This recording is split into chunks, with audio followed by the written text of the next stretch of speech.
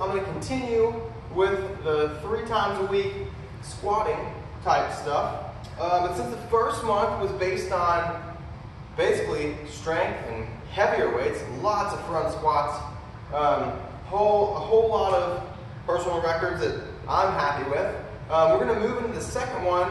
We're going to cut back 25% of that heavy volume and go more into um, let's partial rep ranges using heavier kettlebells to work into our kettlebell sport stuff. So these are going to be a whole lot of overhead lockout,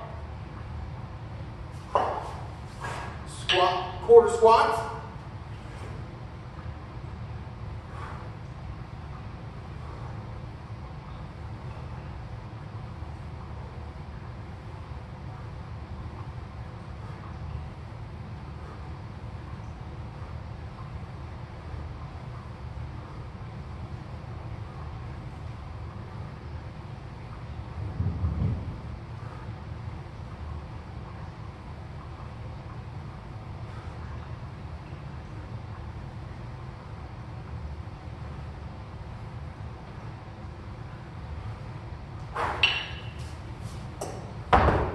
So, I'm gonna work on sets of 20. So I'm probably gonna stick in the five sets of 20 range. So now it's not just strength or endurance in hips and knees for quads and glutes.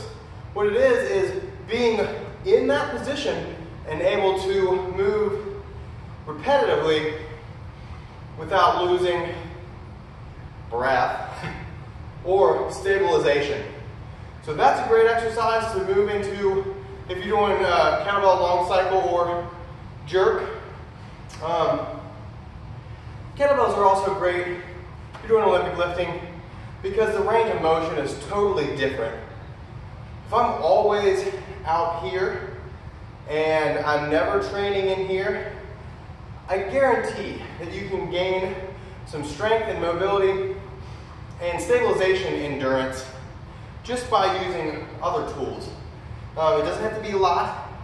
It could be a couple sets here and there. So if that's something you're interested in learning, using uh, kettlebells, sports style kettlebells, come give us a call, give us an email, or anything.